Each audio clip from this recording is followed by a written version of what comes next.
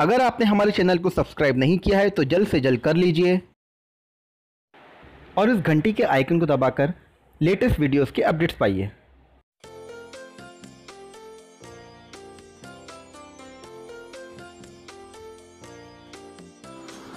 Hello friends welcome back to एक Indian घर। तो आज हम बनाने जा रहे हैं मटन खीमा कटलेट। तो आए देखते हैं इसे बनाने के लिए हमें किन चीज़ों की ज़रूरत है। आधा किलो मटन का खीमा। हमें इसके लिए बारीक खीमा चाहिए।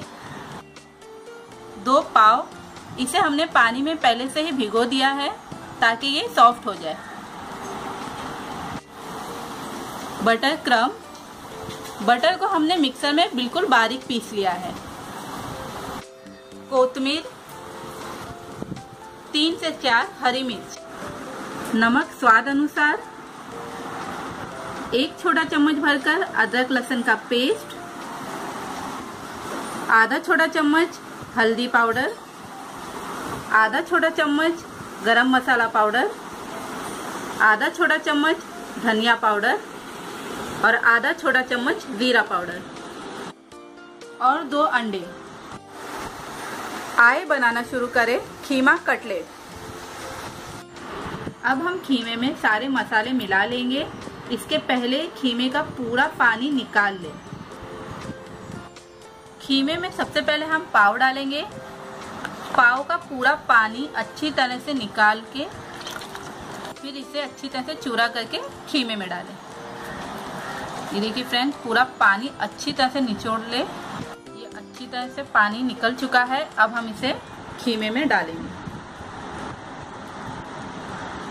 अगर आपके पास पाव नहीं है तो आप ब्रेड यूज़ कर सकते हैं। और इसी तरह सारा पाव इसमें मिला लें। इन दोनों को अच्छी तरह से मिला लें।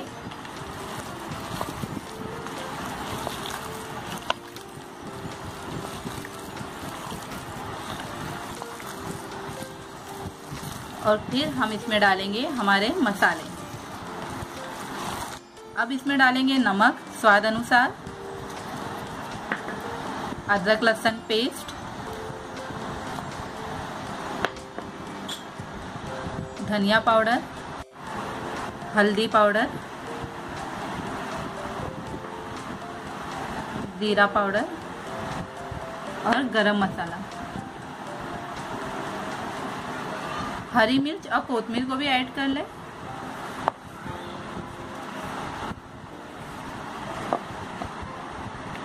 अब इन सब चीज़ों को अच्छी तरह से मिला लें।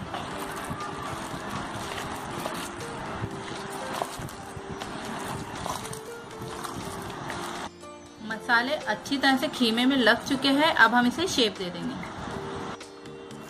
थोड़ा सा पहले खीमा हाथों में ले इस तरह, और इसे दोनों हाथों से इस तरह से दबाकर फ्लैट करें। इस तरह से इसे बना दें।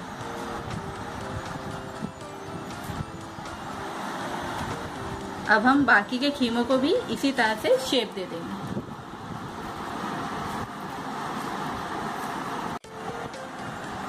खीमे को हमने शेप दे दिया है, अब हम इसकी कोटिंग करेंगे। अंडे को हमने अच्छी तरह से फेंट लिया है। सबसे पहले कटलेट को बटर क्रम से कोट करेंगे।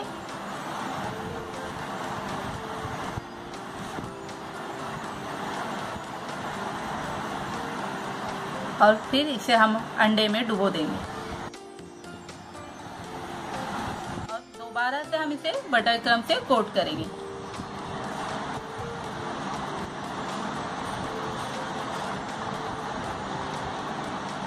इसी तरह अब हम बाकी के कटलेट को भी कोट कर लेंगे।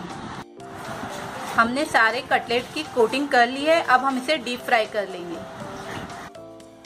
कढ़ाई में हमने तेल गरम करने रख दिया है। और तेल अच्छी तरह से गरम भी हो चुका है। अब हम एक एक करके अपने कटलेट डाल देंगे। एक एक करके इसमें आहिस्ते से डालते जाए।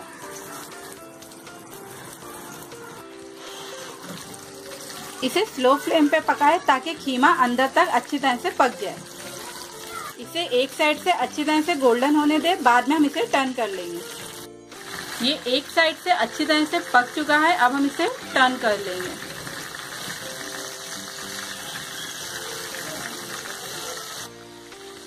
अब इसे दूसरी तरफ़ से भी अच्छी तरह से पका लें।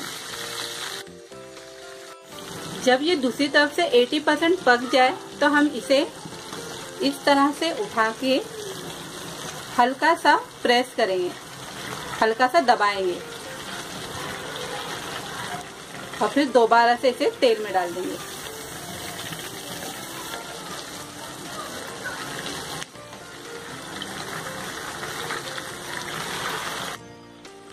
इस तरह करने से ये और अंदर तक अच्छी तरह से पक जाएगा। और इसी तरह हम सारे कटलेट्स को फ्राई करेंगे। ये अच्छी तरह से पक चुका है, अब हम इसे निकाल लेंगे।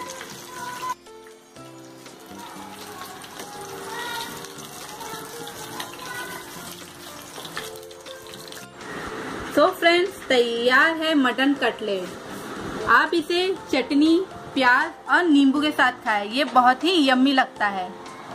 अगर आपको हमारी रेसिपी पसंद आए तो प्लीज़ लाइक करें शेयर करें और सब्सक्राइब करें। आप हमें फेसबुक इंस्टाग्राम और ट्विटर पर भी फॉलो कर सकते हैं। इसका लिंक हमने डिस्क्रिप्शन बॉक्स में दे दिया है। Thank you friends